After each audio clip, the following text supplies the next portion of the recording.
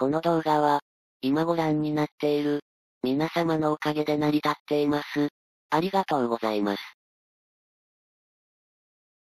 皆さんおはこんばんちは、ウプ主の親友です。今回も、キャロットクラブの、マイホースたちの近況報告をいたします。まずは、オールパスレルからです。周回ダートコースで軽めの、キャンター調整を中心に、週2日日は屋内は、2度コースでハロン16、17秒の、キャンターを2本調教しています。いい意味で変わりなく取り組めていましたので、この中間から販路での、メニューを開始しています。足元の変化を見た上で、問題ないようであれば、このまま乗り込んでいきたいです。馬体重は464キロです。空港担当者。オールパスレルも、販路調教に入ったので上々ですね。このままうまく調整して、夏明けには、競馬場に戻ってきてほしいですね。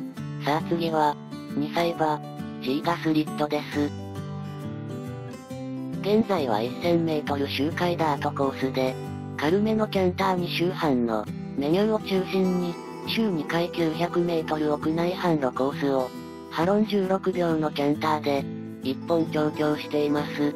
乗り込みをこなしてきたことで、少しずつ馬体は引き締まってきており、動きにはスカルさが増してきました。海馬食いも安定しているので、現状のコンディションを維持しつつ乗り込んでいくことで、さらに動ける状態へと変えていければと思います。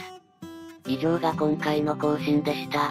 まだ2頭ともレースには出れませんが、しっかり準備して、競馬場に行ってほしいです。では皆さん、また来週。